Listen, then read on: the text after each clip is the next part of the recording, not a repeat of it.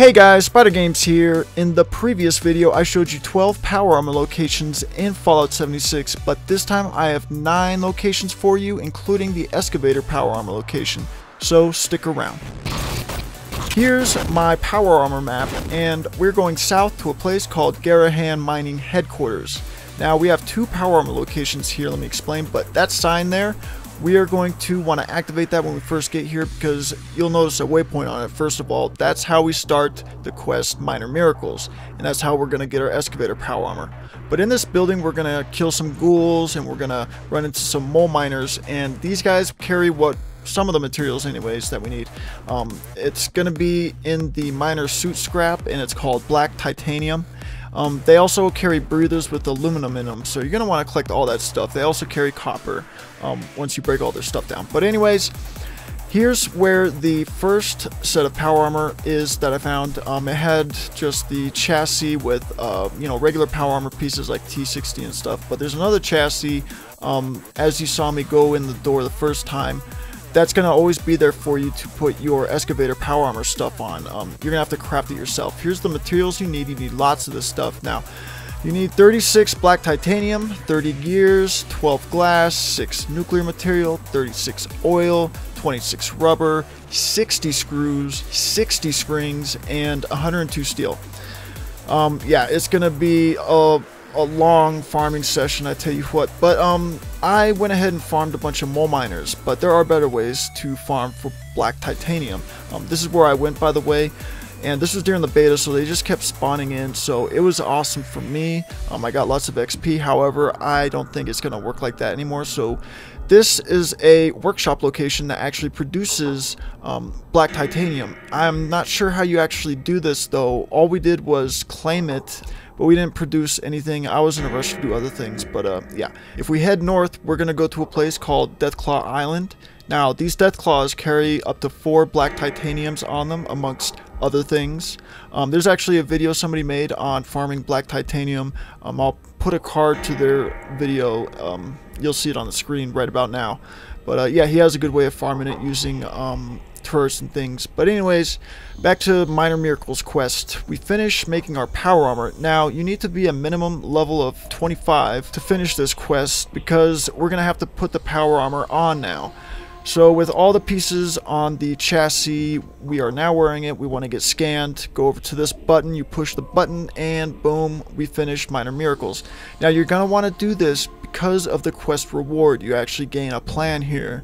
So um, I think you get some stim packs and some purified water, but we get the power armor station. We can now build power armor stations in our settlements. But onwards to spot 15, we are going to a place called Kanawha Nuka-Cola plant. And when you get here, you're going to try to find the basement looking area um, there's a fancy area, then there's this crappy looking area. But anyways, the power armor is sitting on a power armor station. You can go ahead and grab it. Next, number 16 is at Wade Airport. Now, when you get here, you're going to find a hangar that's directly underneath the uh, control tower flight control tower. I forget what it's actually called. Go to the hangar underneath that tower, and the power armor should be there. If it's not, then it's not there. Uh, just come back some other time. Number 17 is at Silva Homestead. Now, same thing here. We're going to come from the house to the uh, hangar here, and there's going to be another power armor station. If it's empty, you know that the power armor isn't there. Whatever, if it's there, you know, you don't need me spelling this shit out for you. Moving on to number 19, and that's at Point Pleasant, the home of the Mothman. Uh, when you get here, you're going to find this bridge. You can just climb up one of these uh, support beams, and don't fall off like I did right there, because I'm dumb. Uh, get to the top, and then you're going to look right, and you're going to jump to that roof, and the power armor should be there, just out in the open, no power armor stations, none of that stuff. But uh, yeah, very easy to get to.